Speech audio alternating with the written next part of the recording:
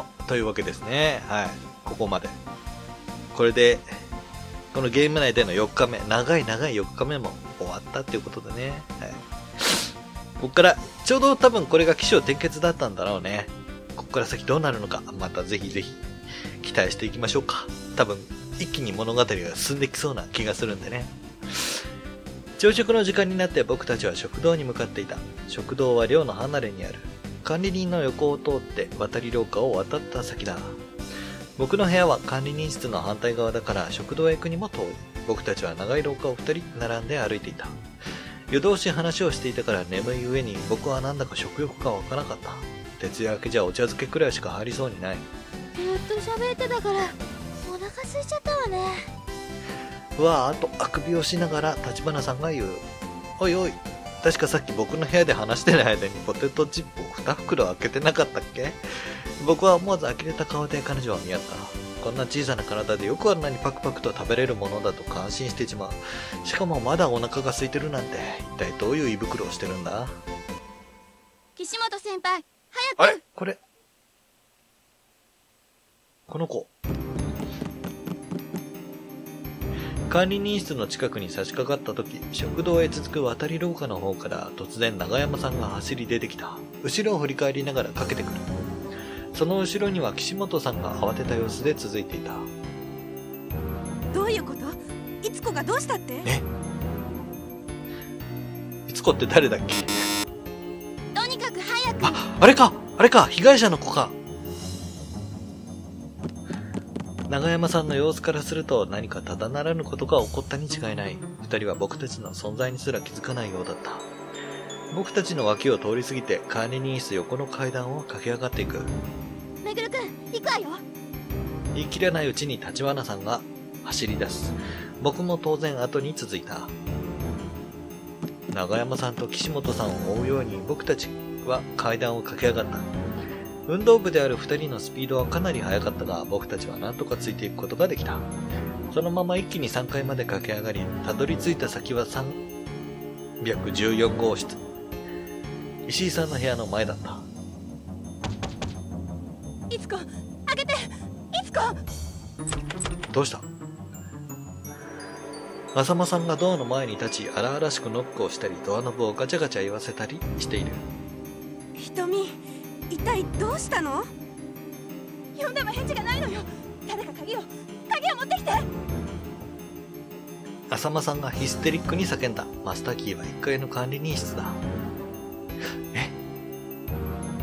え？どうしよう？え？どうしよう？まあいいか。自分取ってくるか。取ってくる。僕はそう言って返事も待たずにその場を離れた。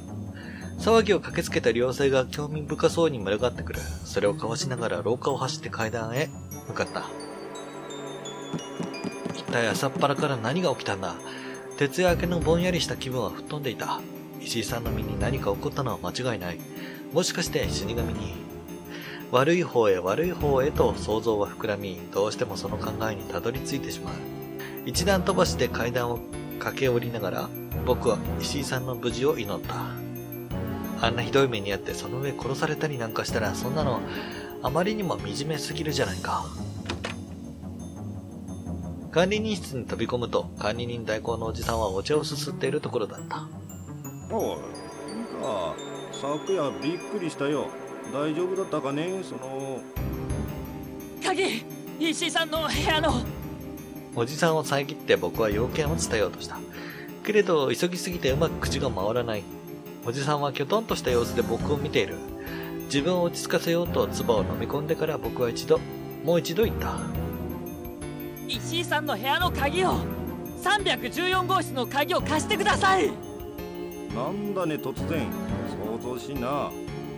おじさんのノロノロとした喋りがもどかしい。僕は声を荒げた。急いでるんですよ急いでるって言われてもね。3階の部屋は全部女の子だろ。鍵を借りてどうするつもり？いいから貸せよ 自分でも驚くくらいに大きな声だった。その迫力に押されたのか、おじさんは無言で鍵を探すと僕に差し出した。後で返しに来ますからひったくるようにして鍵を受け取ると付け加えるように僕は言った。早く部屋へ戻らなければならない。そのまま急いで管理人室を出た。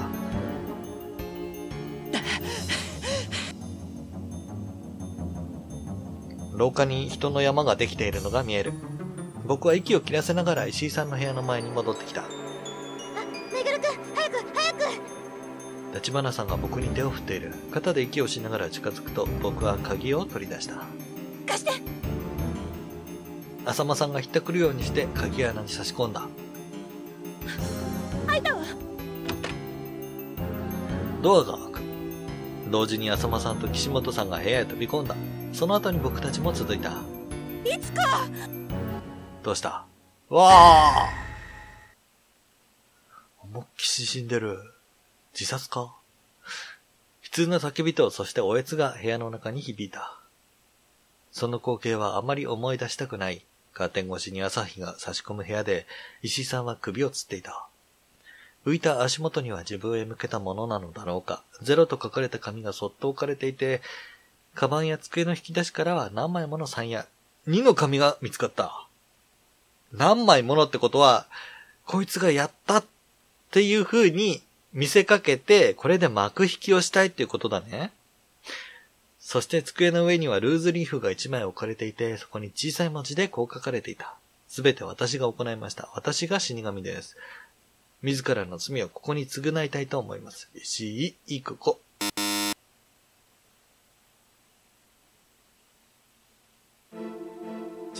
なんかじゃないわでしょうね。ってことはもうこれで事件は佳境に来てるってことですよ。まあさっきのでだいぶ気象転結の10パート来たなと思いましたから、いよいよ解決パート来ますね、これ。うんうん。不意に立花さんがつぶやいた。どういうこと？昨日会った時石井さん勉強してたじゃないなるほどね。明日テストだからって言いながらいや、そうだわ。その日に自殺するつもりの人がそんなことしてるなんて全然辻褄が合わないわ。でも追い詰められたのかもしれない。僕はぽつりという石井さんの思い詰めた表情が脳裏をよぎった。僕たちは合宿で起きた石井さんの事件を知ってしまったし何より死神は昨夜僕を襲って失敗してるあの状況じゃ自殺は疑いようがない分かってるけどでも何か引っかかるのよ立花さんが突然大きな声を出す。どうして？私の勘よ その時、立花さんが何かを思いついた顔をして携帯を取り出した。それからボタンを押して耳に当てる。どこにかけたの？直人さん。お？え？昨夜あんなに嫌がってた相手なのに、一体どういう風の吹き回しだろう？僕が疑問に満ちた目で見ると、立花さんは小声で言った。あの人ミステリオタクなの？はあ、なるほど。探偵ポジション。直人さん？相手が出たようだ。はい、元気ですか？え、携帯かけて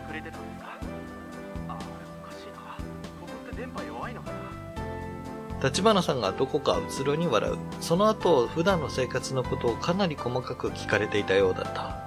あの直人さんちょっと聞きたいことがあるんですけどそう言ってから立花さんはちらっと僕の方を見て携帯を机の上に置く。どうやら話の内容が僕にも聞こえるようハンドフリーにしてくれたみたいだ。何です？何でも聞いてください。スピーカーから漏れてきたその声は想像していたよりも普通だった。トリックのことなんですけどあれ？宮子さん、声が変ですよ。どうかしました？何でもありません友達も一緒にいるんでハンドフリーにしたんです立花さんが友達と言った時、僕はちょっとした違和感を覚えた。あまりにも長く女子と言われ続けたためかもしれない。ああ、お友達ですか。宮子さんのお友達なら、きっと素敵な方なんでしょうね。はじめまして。今のところは宮子さんの義理の兄弟にあたる萩原直人と言います。自己紹介か。やっぱりこういう場合は答えなくちゃいけないだろう。は はじめまして桃井めぐるです 携帯越しに重い沈黙が伝わってきた。男 低いつぶやきが漏れる。僕は素直に返事をした。そうですよ貴様誰だ？貴様ときましたよ、貴様。突然人が変わったように怒声が聞こえてきた。その声のあまりの大きさに携帯がビリビリと震える。なんで？いやそんなことはどうでもいい宮子さん今すぐそっちに立花さんは頭を抱えて叫んでいた。それから立花さんはとても長い時間をかけて僕のことや事件の経緯を説明したのだった。私は自殺じゃないって思うんですなるほど事件の話を始めたあたりから、荻原さんはすっかり冷静な態度に戻っていた。ニュースにはなっていないらしい。おそらく報道規制が敷かれてるんだろ首を吊ったことに関しては地蔵背負いという方法がありますう。地蔵背負い。地蔵背負い何その新しい体位。立花さんが聞き返した。考察死体と首吊り死体ではたとえ道具に同じロープを用いたとしても死体につく傷の跡が異なるんですうん、ちょっとちゃんとしてるじゃん。ミステリーっぽい感じ。へえ、そうなんだ。へえそれでバレてしまわないように首吊り死体と同じ痕跡が残るように相手を考察えーするそうなんだそれを地蔵背負いというへえ。背中を見せた隙に背後からロープをかけます。そしたらすかさず相手と背中合わせになり自分の肩にロープを一引っ掛け本背負いみたいな感じだ。それでその後ロープを引っ張り相手を宙に背負い上げるんです。そうやると首を吊ったのと同じ傷ができるわけです。へつまり首吊り自殺と同様の痕跡を残しつつ相手を殺害することができるんです。なるほど。え。感心したように立花さんがつぶやく。確かにそれなら自殺に見せかけて殺すこともできそうだ。いやー、なるほどだね。そんなことあるんだね。あと部屋は鍵がかけられていていわゆる密室の状態だったんですそれについては？うーん現場を見たわけじゃないのでそれについては何とももう一つ遺書の問題があります水泳部の3人えも証言してましたが遺書は紛れもなく石井さんの筆跡で書かれていたそうです。まあそれについてもあいにく今のところは何とも言えないな。あただ。ただ？物理的に解けない謎があってしかも捜査での見落としがないとするならばそこにはおそらく心理トリックが絡んでいます。つまり実際はしていないことをしたと犯人に思い込まされているんですね。うーん実際にしていないことをしたと思わされている。かまちゃんが仕事したって思ってることと同じですかね。今日は仕事したなって思ったけど、全然仕事してないで遊んでた日みたいな感じのことですか？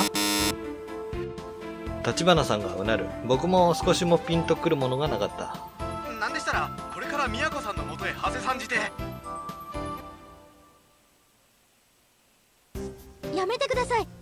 ですうんうん。立花さんが遮る。この学園は、この学園は部外者への対応がことのほか厳しい。事件の報道規制が敷かれている今なら、警察のチェックも加わってなおさらだろう。いえ無理じゃありません人の思いは100万の敵に勝ります助かりました直人さんそれじゃあ待ってください私にはまだ話が宮子さん初めて会った日からずっと愛し 立花さんは容赦なく通話を切った。と電波が弱いのよねそう言いながら携帯の電源をオフにする。僕はほんの少しだけ萩原さんのことを気の毒に思った。これではっきりしたわ石井さんは自殺したんじゃない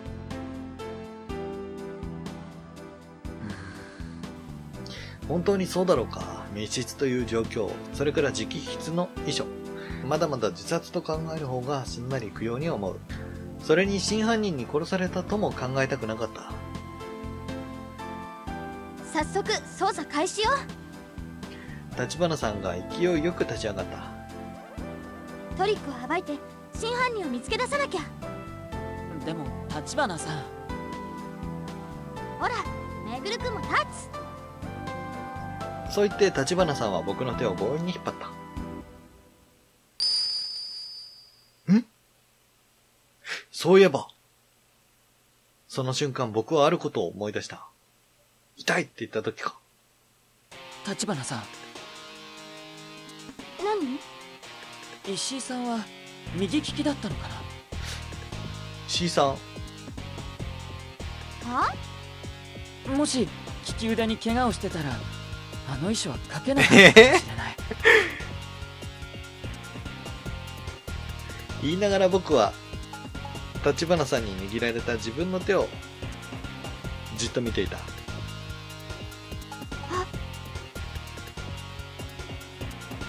立花さんも気づいたようだ。そう。図書室で岸本さんに手を取られた時、藤井さんは大げさなくらい痛いと叫んでいた。確認しましょうでも、でもギブスとか、ギギブスとかしてない限り、G ぐらい書けんじゃないの？石井さんの遺品を調べようオッケー僕たちは部屋を飛び出した。幸い警察官の目はなかった。視察と決めつけているから、捜査の体制もこれまでとは違ってるんだろう。見てめぐるくん探し物はすぐに見つかった。最近のノートを探せばいいだけだから簡単だった。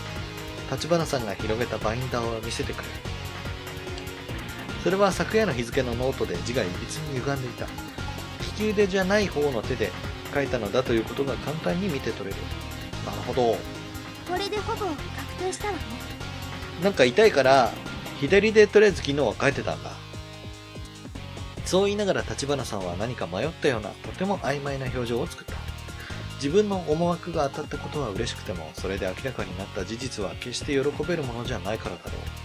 あの衣装は石井さんが自分で描いたものじゃない立花さんの言う通り石井さんは自殺じゃなかった石井さんは真犯人の陰謀で殺されたことになる。つまり事件はまだ終わっていない。時計の針が夜の8時を知らせる。ああもう立花さんはガリガリと頭をかきむしった。テーブルに広げた紙は、斜線や塗りつぶした跡ばかりになっている。事件やトリックのことをいろいろ考えてみたものの、さっぱりわからない。落ち着いて言いながら気づくと、僕もしきりと親指を噛んでいた。秒針の指がカチカチとせかすように聞こえて気持ちは焦るばかりだった。やめやめ突然、立花さんが大声を上げた。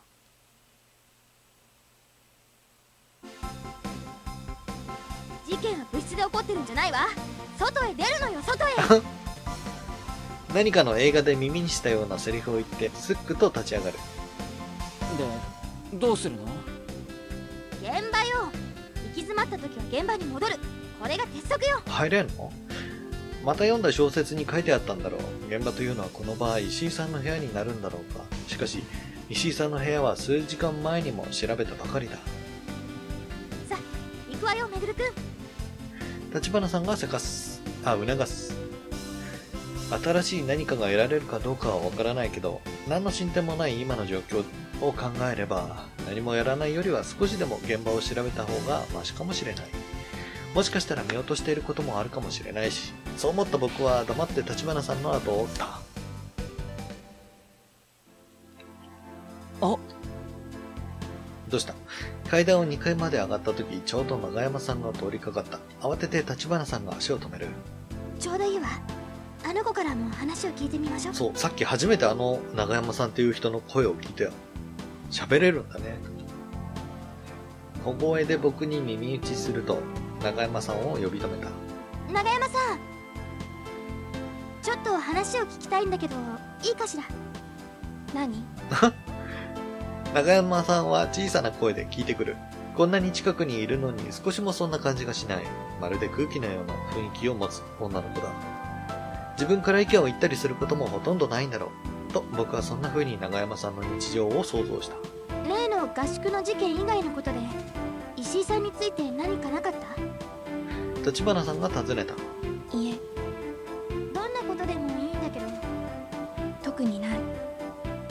山さんは表情も変えず淡々と答える。あそう立花さんはどことなく歯切れが悪い。どういうノリで接していいかわからない風だった。どうしたの？そういえばお昼頃岸本先輩にえ？ー先輩のノートがどうとかって聞かれたちょっと、岸本先輩。それは良くないよね。完全に遺書の、あのー、書き、う、な、何？完全に遺書のさ、あのー、何？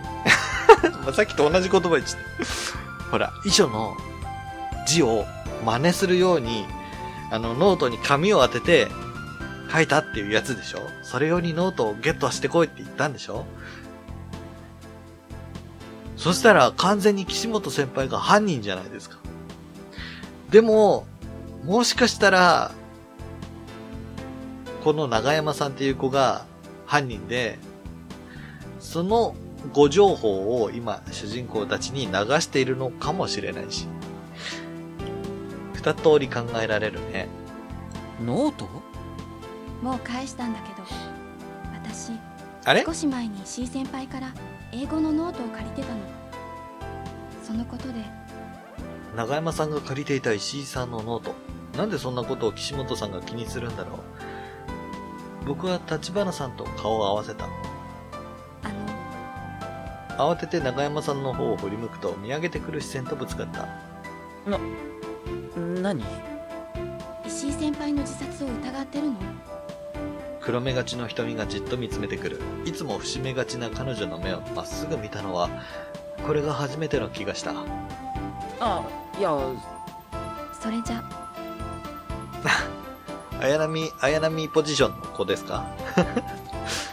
どう答えていいものか、僕が返答に窮している間に長山さんは静かに向こうへ行ってしまった。あ長山さんいいじゃない立花さんが遮る。それよりも石井さんの部屋に行ってみましょう岸本さんが気にしてた英語のノートって英語なんだ。じゃあ、英語じゃあ、あれだね。衣装に使えないね。そうだね僕はうなずく。そして、僕たちはその場を後にし、石井さんの部屋がある3階へ向かった。階段を上り、そのまま廊下を並んで歩く。突き当たりを右に曲がってしばらく歩くと石井さんの部屋だ。めぐるくんストップ曲がり角のところで突然立花さんが立ち止まった。なんだよと言いかける僕の口を塞いで、そっと角から様子を伺う。何かを見つけたんだろうか。あ足音じゃない、物音を立てないようにしながら僕もそれに習った。浅間さん？浅間さんってどっちだ？部長の方か？廊下の突き当たりを曲がったところにある部屋、あつまり南側の角部屋は浅間さんの部屋だ。その実質の前で彼女は立ち尽くしていた。なんか様子が変だ僕のつぶやきに立花さんが無言でうなずく。ドアを前にして立っている浅間さんは、はために見てもわかるくらい真っ青な顔をしていた。明らかに怯えた表情で小刻みに体を震わせている。信じられないものを目の当たりにした時のような、大きく見開かれた目で何かを見ている。これどうせあれでしょ？このドアの下にゼロって書かれた紙があったからそれを見つけてハワワってなってんでしょ？でも、もっと深い見方をするんなら、まあ、事件があれで収束したと思って、これでもうないんだねって思ったところへ、また紙が来たから、え、まだ続くの？っていうのでびっくりしてる可能性が、まあ一つ。そして、こいつが実は犯人で全てを仕組んだ上で、あいつに、石井さんに、もう全ての罪をなすりつけて、犯人に仕立て上げて、よし、これで、事件は闇に葬れたなと、なってるところへ、自分のところにゼロの紙が来たから、今までやってたのにのが自分でしょ？なのに、犯人役を始末して終わらせて、終わらせた途端、自分のところでまた続きが始まってるっていうので、びっくりしてる可能性もありますよね。まあ、かまちゃんそこまで読んでますよ。はい。名探偵ですから。そこまで読んでしまうのが、まあ、かまちゃんなんですけどね。はい。ちょっと。はい。この、バリエーションに富んだ推理を披露して、しまいました。どうですか？多分そんな気がしませんか？かもちゃんそんな気がビシビシしますよ。ここからでは視覚になっていてよく見えない。浅間さんの視線の先にあるもの、プルプルと震える手に握られているものは一体何なんだろう？その時、立花さんが不意に廊下の影から歩み出て、浅間さんの方へ歩み寄った。突然のことに、あっけに取られた僕もつい釣られて物陰から歩み出てしまう。こんにちは、浅間さん。超ビビってんね。声をかけられた浅間さんは文字通り飛び上がった。ビクッとその場を飛び抜き、ドアを背にしてこちらを向く。その顔は恐怖で歪んでいた。その拍子に手に持っていたものが床にはらりと落ちる。紙切れだ。浅間さんはひどく慌てた様子でそれを拾い上げた。1。な、何の用なの？あなたたち。いや、可能性あるな。可能性あるよ。ごめんなさい。驚かすつもりはなかったんです。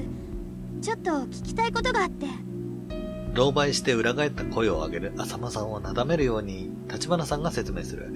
しかし僕はもうそんなやりとりなど耳に入らなかった。浅間さんが慌てて拾い上げた紙ほんの一瞬しか見えなかったがそれには確かに1という数字が書かれていたたった今死神から届けられたものに違いない彼女はさっきそれを見ながら恐怖に体を震わせていたのだ立花さんが声をかけた時の驚きようからどれだけひどく怯えていたかがよくわかる。無理もない。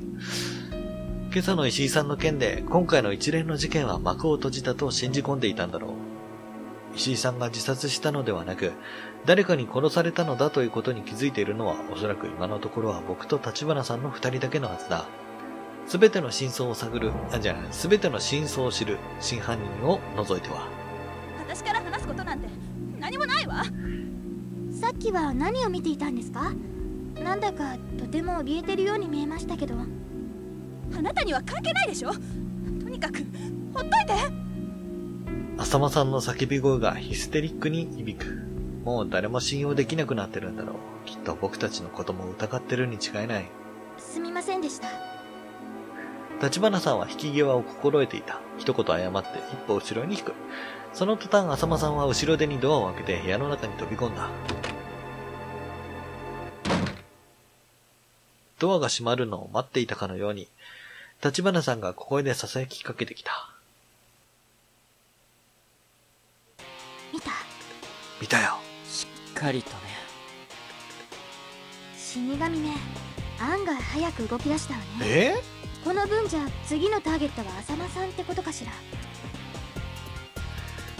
案外早く動き出したわねって。じゃあさ、あの巻き、幕引きは何なの？まだ続けるなら、あれを幕引きさせる意味がないじゃん。わからない。僕らにだって1のカードは届いてるんだ。それに？犯人の意図がわからない。そうだよね。自殺に見せかけて、わざわざ石井さんを犯人にしてあげたのに。なんでそれをぶち壊すようなことをする必要があるんだ？ってことは犯人の思惑とは違う行為をするその真相をするそのしその真相をし 差しすせそがいいぜその真相を知るもう一人の誰かがいるっていうことだよね確かにそれは変ね。立花さんはしばらく考えていたがやがてあっさりと思案に。思案試作に？ケリをつけた。まあ他人の考えてることだから分かんないことはいくら考えても分かんないわ。それよりも目先の調査を優先させましょう。確かにそれはそうだ僕たちはそこからもう少し先にある石井さんの部屋に向かった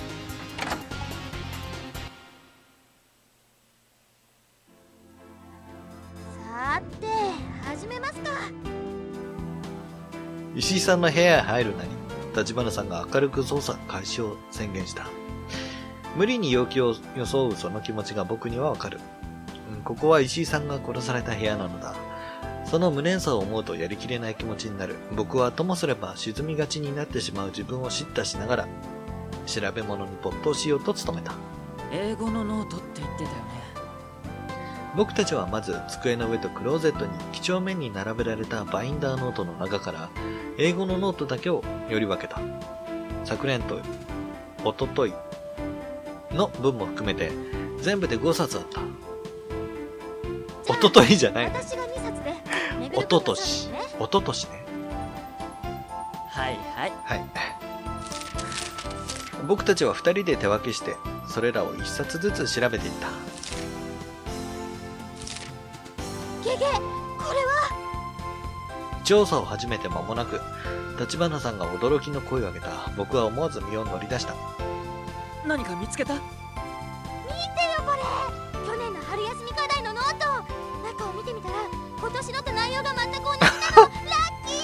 この部屋で人が死んでるんですよね。僕は思わずため息をついていた。もちろん失望のため息だ。あのさもっと真面目にやってよやってるわよだけどこれがあればめぐるくんも私の課題から解放されるでしょ？だから君も少しは喜んだらダメだこりゃ。立花さんは課題というのは、本来自分でやるものだという前提を完全に忘れてしまっているらしい。言っても無駄だと分かっていながら、それでも言わずにはいられなくなって、さらに文句を言い連ねようとしたその時だった。待てよ。どうした？僕はあることに思い当たった。立花さんそれだそのノートん？なんだやっぱりめぐるくんも嬉しいんじゃない？そうじゃなくてさっき長山さんが言ってたのはそのノートのことだよ。ん？彼女言ってたろ少し前に石井先輩から借りたって。長山さんは僕たちと同じ学年だ。先輩から借りるなら今僕らに必要な春休み課題のノートに決まってるじゃないか。なるほど。立花さんはポンと手を打った。の子もあんな顔してズルしようとしてたってわけ意外だね。いや、長山さんの場合は立花さんと違って本当にわからないところだけを参考にしようとしただけだと思うんだけど。そう思ったが口に、そう思ったが口には出さないでおいた。そんなことよりノートを調べることの方が先決だ。僕は立花さんからバインダーノートを受け取り一枚一枚丁寧に見ていった。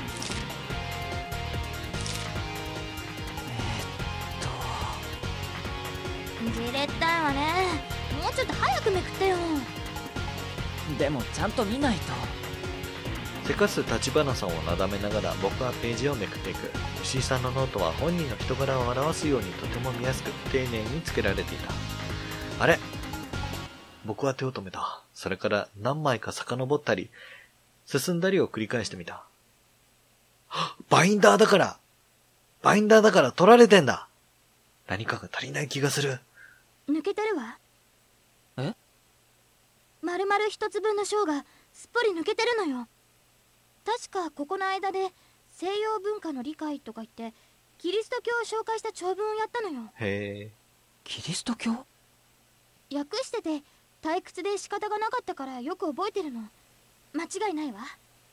確かに僕にも覚えがあった。僕は立花さんから英語の課題を引き受けたとき、英文全体の流れをつかむために立花さんのノートを最初からすべて読み通していた。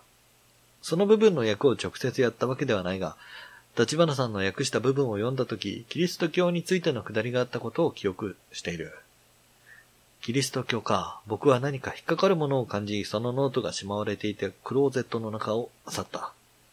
すぐに今、立花さんが春休みの課題に使っているのと同じ英語のテキストが見つかった。パラパラとページをめくって問題の箇所を探す。ん？く、く、く、ち、ち、チリスティアニティ。クリスチャニティ。すぐに探し当てた。僕はざっとその原文に目を通してみた。この程度の英文なら辞書なしで訳すのは簡単だ。しかし、なんだろう。リフォーム、シン、デス。あ、あと、あとね、アトーンメント、ゴッド、オール、ビヘイバー。ページを開いて、英文を流し読みしてみると、無意識のうちに目につく単語がいくつかある。僕は急に頭の中がモヤモヤしてくるのを感じた。ん？これはもしかしたら、何？眉間にシワを寄せながら英文を丹念に調べる。頭の中のモヤモヤがどんどん増えて、そして一つに収束していく感覚。やはりそうだ。何？立花さんこの抜けた部分のノートあるよね聞くまでもなかった。課題をやらされていた僕は何度もそのノートを見ている。あるけどどうしたの？確かめたいことがあるんだ確かめたいこと？行こうそう言って僕は立花さんを促した。逸る気持ちを抑えながら僕の部屋へ向かった。部屋に着いた僕は早速立花さんの英語の課題ノートを調べた。石井さんのノートから抜けていた講義の翻訳を何度も確かめて、そして僕は確信した。やっぱりだ何が？さっき立花さんがキリスト教についての章が丸々抜けてるって言った時僕の中で何かが引っかかってたんだそれが何だったのか何が僕の頭に引っかかってたのかようやく分かった。何を言ってるの？ちゃんと説明してよ。キリスト教の話をするとき決まってよく口にされる言葉ってあるだろ？なんだろう？つまり神死と復活現在人の行いそして償い。そういった言葉のことさ。ほらこれを見てあ、それがさっきの英語の単語のこと？僕はノートの字を指さしながらその一つ一つを声に出した。すべて私が行い 死神です自らの身をここに償いたいと思いますなるほどね。そこから引っ張ってきたんだ。あっと立花さんが目を大きくする。そう。この訳文には C さんの遺書に書かれていた言葉の全てが存在しているのだ。なるほどね。まあまあまあ、ノートからあの字を取って、うん。それを遺書にしたんだろうなと思いましたけど、それにしたって死とか、ね、神とかね、どういうノートに書いてあるんだろうとかちょっと思ってたんですけど、なるほどね。英語のその翻訳から持ってきたってことね。転写トレーシングだよそう言って僕は立花さんに説明した。紙を重ねた後、下から光を当てれば簡単に、しかもかなりの精度で原稿を写し書きできる。犯人はこのやり方で言葉の一つ一つをつなげ、偽りの衣装を作り上げたんだろう。なるほどねう一つまだ密室の謎が残っている。そう言いかけた時、突然立花さんが部屋を飛び出した。立花さんどうした？一体どこへ行くつもりなんだ？僕は慌てて後を追った。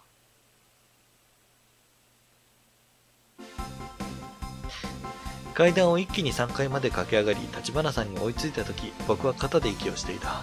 たどり着いたのは、325号室、岸本さんの部屋の前だ。岸本さんいますか？立花さんがためらうことなくドアをノックした。驚いた僕は慌てて尋ねる。一体どうしたの？立花さんだってこうなったら怪しいのは岸本さんじゃない借りてたの岸本、そうか、岸本先輩がどうのって言ってたっけ少し前に長山さんから聞いた岸本さんが石井さんのノートを気にしていたという情報のことを言ってるんだろうか。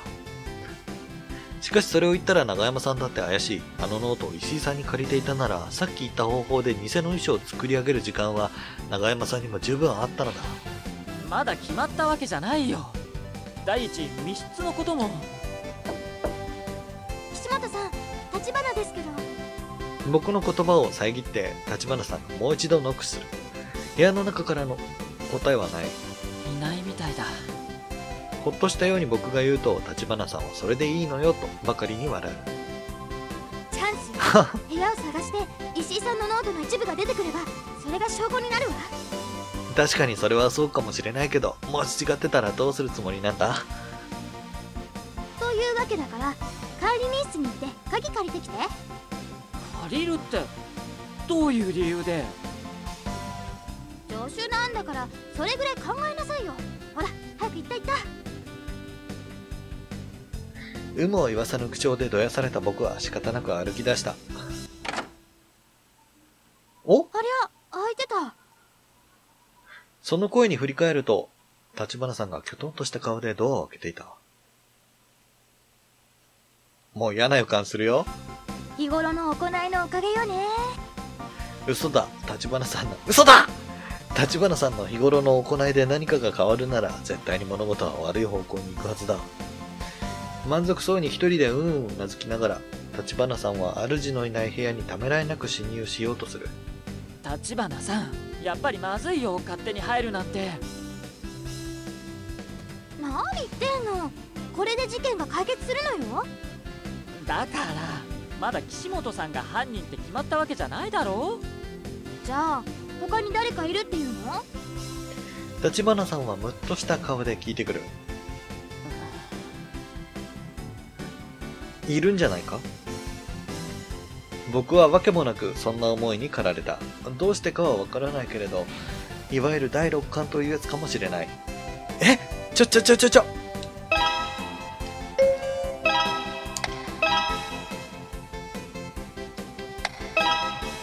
別に保険をかけているわけではないですよ。はいもう今にも、今にもこの犯人を指摘したくてたまらないですから、かまちゃんは。もう分かってますから、全部。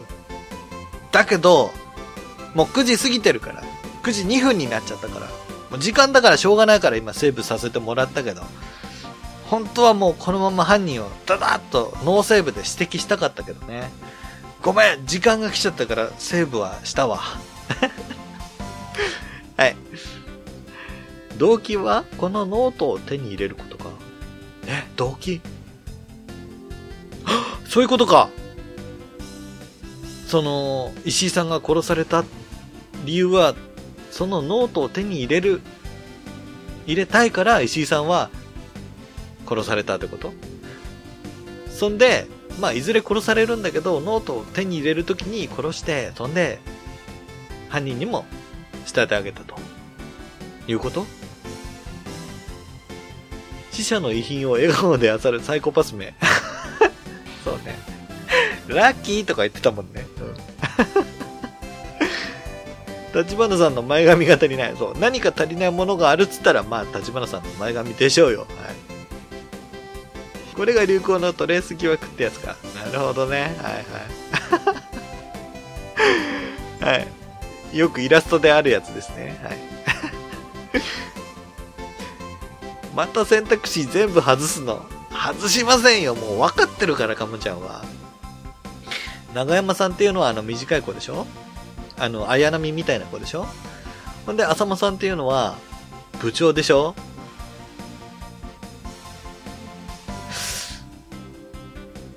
浅間さん。いやね、これどっちも正解な気がするな。浅間さんは部長でしょ？いや、はま、かもちゃん、犯人はね、浅間さんだと踏んでるんですよ。あの、ショッキ、紙を見つけた時のショック具合。あれは、犯人じゃなきゃ取れないリアクションだと思うんですよね。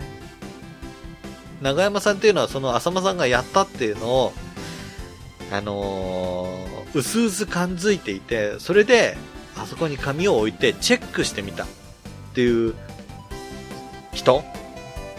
犯人に対するアンチ、アンチ、アンチ犯人のポジションな気がするんですよね。どうですか？完璧じゃない？かまちゃんの推理では、浅間さんということになってます。ほんで、長山さんは、その浅間さんがもしかして犯人じゃないかと疑ってる人っていう位置づけな気がするんですね。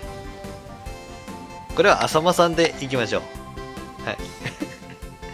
いくぞ。ひょっとして浅間さんか？僕はふとそう思った。ねえ立花さん浅間さんって本当に死神に狙われてほら、多分この主人公もかまちゃんと同じようなことを考えてるんだと思うよ。はああいやさっきのことを思い出したんだけどえ？あれってもしかして自分を容疑者から外すための演技だったんじゃ？そんなこと考えもしなかったよ。バカじゃないの。そんなわけないじゃん。行くわよえ？言い終わる前に僕は立花さんに手を引っ張られた。僕たちはそのまま浅間さんの部屋に向かった。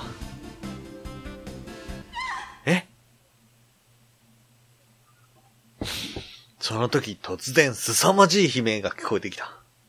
凄まじいってほどではなかったけど。キャッぐらいのね。今の浅間さんの部屋からじゃないのか。血相を変えた立花さんが無言で走り出す。僕も慌ててそれに続いた。どうした？部屋の中からさっきよりも一段と大きな声が響く。間違いない。僕たちは部屋へ飛び込んだ。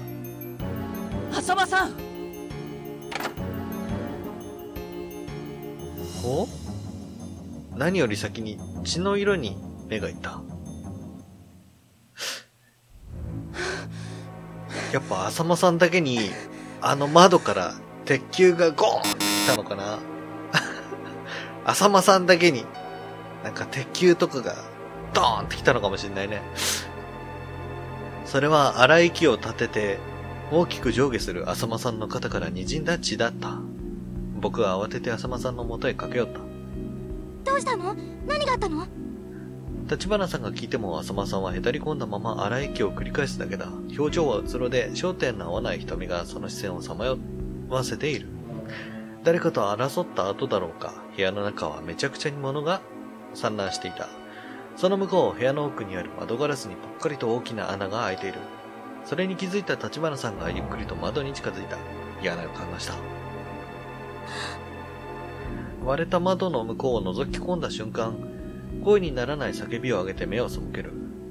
彼女の見たものを確かめようと、僕はそのギザギザになった穴から顔を出し、ゆっくりと下を見た。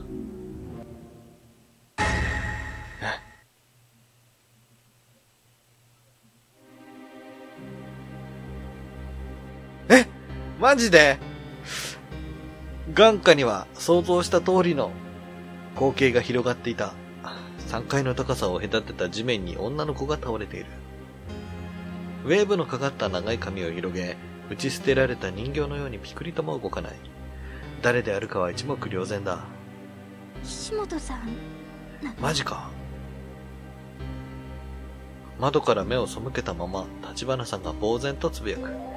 僕は無言でうなずいた。どうしても話があるってそういうかこの人ますます臭いな。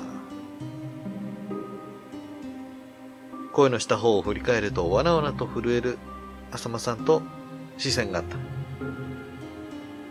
どうしても話がしたいっていうのは、多分あの茶髪の子も、この浅間さんの犯行にちょっと気づいて、気づき始めて、ちょっとどうなの？みたいな話を、やめなよ！みたいな話をしに来たところ、揉み合いになって、えい！ってやられて、あたかも自分がやられ、襲われた風に、なんかちょっと窓ガラスで肩をガッてやった。自作自演みたいな感じじゃないのかな？美穂がそう言うからそれでドアを開けたらいきなりあとは夢中で。つまり岸本さんが襲ってきて、取っ組み合いになってるうちにこうなった、ということだろうか。それって立花さんが口を開く。岸本さんが犯人つまり死神だったってこと？そそうえー、ちょっと待ってよ。ちょっと待ってよ。だってその前に私が死神ですって自殺した人いたじゃん。私が死神です。いや、私が死神だ、みたいな。死神だが多すぎない？浅間さんがぎこちなくうなずいた。死神は美穂だったのよああ、ってことは、その石井さんは、その美穂に濡れ衣を着せられて、自首させられ、あ、自殺に見せかけられた。っていうことなの？こうして事件はその幕を閉じた。え？警察はそれまで石井さんを自殺と断定していたけど、マスコミ発表ではそのことに少しも触れてなかった。そんなものだと思う。浅間さんには正当防衛が認められた。結局のところ一連の事件は全て岸本さんの犯行ということで落ち着いたようだった。嘘やばいこれ解決失敗モードか。しかし僕は何か釈然としないものを感じていた。最初の山内先生殺しは親友である石井さんの復讐。次の藤崎さん殺しは事件の発覚を恐れたため。では石井さんは何のために殺されたんだろう最後に浅間さんが狙われた理由もわからない。確かにね、いろいろ矛盾があるね。親友である石井さんの復讐のために山内先生殺したのに、最後その親友殺しちゃってんじゃん。シリアルキラーじゃないですか。この二つの動機については、岸本さんが帰らぬ人となってしまった今、それを知る術も永遠に失われてしまったと言える。石井さんを自殺に見せかけた密室のトリック。え？それさえ解けていれば、こうなってしまう前になんとかできたかもしれない。マジで？なんか足りなかったのか？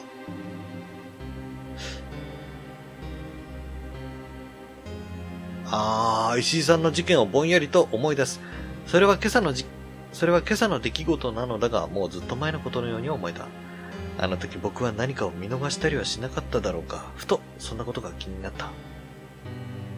あれは主人公が鍵を取りに行くんじゃなくて、この場にいるべきだったのかなしまったな無論今となってはそんなことを考えたところでもう遅いのだが。いえ、マジで。